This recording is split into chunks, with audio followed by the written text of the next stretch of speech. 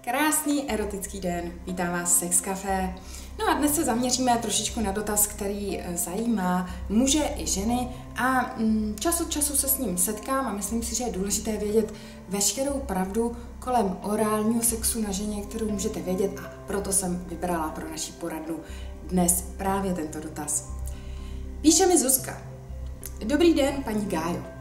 Dovoluji si eh, se na vás obrátit se svým dotazem, je možné, že existují ženy, kterým se nelíbí, když jim muž dělá orální sex.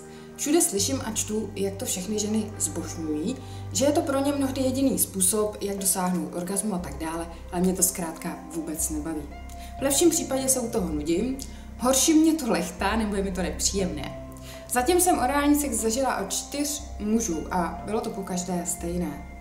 Ve finále jsem se cítila trapně jak já, protože jsem si musela vyslechnout hlášky typu moje bývalá u toho měla pětkrát orgasmus. Tak i muž se cítil taky trapně a neschopně. Když masturbuji, dokážu si zařídit orgasmus sama čtyřmi různými způsoby. Při sexu se zadaří ve třech polohách, což si myslím, že je v pohodě. Když mě muž dráždí prsty, líbí se mi to o něco více než orální sex. Ale že by mě to vyloženě vzrušovalo, to taky ne. Připadám si hodně divná. Setkala jste se ve své praxi s nějakou ženou, která by to měla podobně jako já? Neměla bych se jít někam léčit? Děkuji za odpověď a přeju vám hodně úspěchů, Zuzano. Tak Zuzano, milá Zuzano, moc děkuju. Eh, já doufám, že se někdy setkáme třeba osobně a určitě vám dlužím odpověď. V první řadě eh, umím si představit, že věty typu moje předchozí přítelkyně byla lepší v tom a v tom, vám rozhodně nepomůžou si užívat jakýkoliv intimní kontakt. Oni to většinou muži říkají ve chvíli, kdy se cítí bezradně, kdy už prostě neví, co dál, kdy se snaží překonat nějaký svůj bezko- diskomfort, jo, e, nějaký vnitřní tlak, nebo jim to třeba vevnitř líto, um, tak se ten pocit jakoby vnitřní bezmoci snaží nějak jako dostat ven a vlastně dojde k tomu, že vás začne obvinovat. Hmm srovnávat vás s předchozími partnerkami. Výsledkem je, že on se sice zbaví svých negativních pocitů, ale vám to určitě nepomůže se víc zrušit. Myslím si, že jste spíš na té cestě od vzrušení a určitě se začnete v tu chvíli mnohem víc stydět sama za to, zdali fungujete v pořádku, zdali jste normální, zdali když to teda těm předchozím všechno fungovalo, když to slyšíte kolem sebe, zdali tohle je vůbec situace, která je pro vás uh, v pořádku, zdali uh, skutečně byste se neměla někde nechat vyšetřit. Vlastně možná ani vůbec netušíte, jak moc dobře tuhle situaci znám osobně.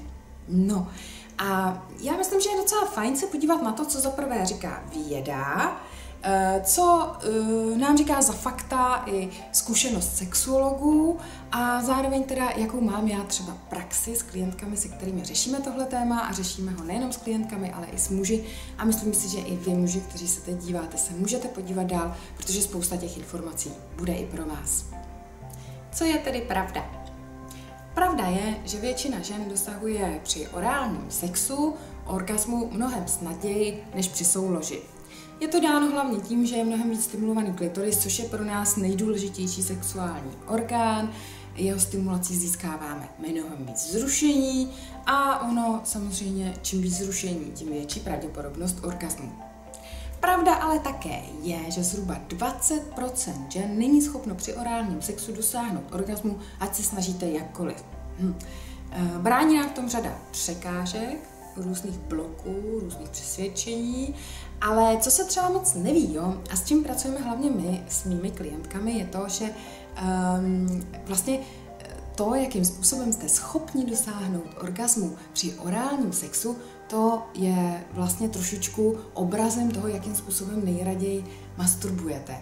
Čili ehm, vy píšete, Zuzko, že to dokážete čtyřmi způsoby, to je skvělé.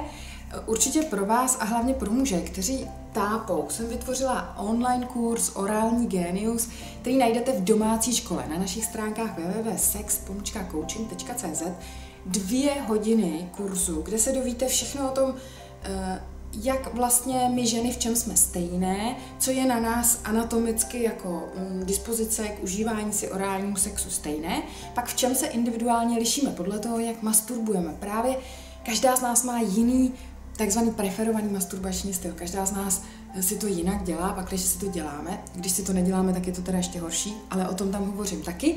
No a z toho vlastně, jak si to děláme, je potřeba výjít při poskytování orálního sexu. Hm kurzu Orální genius se mimo jiné dovíte eh, to nejlepší, co vlastně potřebuje muž vědět o provádění orálního sexu na ženě. Dovíte se to i od dalších žen, které, se kterými si tam vlastně povídám v rámci toho kurzu. Dovíte se, co funguje, co nefunguje, jak hm, dělat ženě na těle takzvané speciální mapy potěšení, jakým způsobem ženu vzrušit tak, aby si přála ten orální sex jak překonávat bloky a překážky a také se dovíte něco o nejlepších pozicích pro orální sex poskytovaný na ženě, právě třeba s ohledem na to, jaké má preference nebo uh, jaký um, je její oblíbený masturbační styl.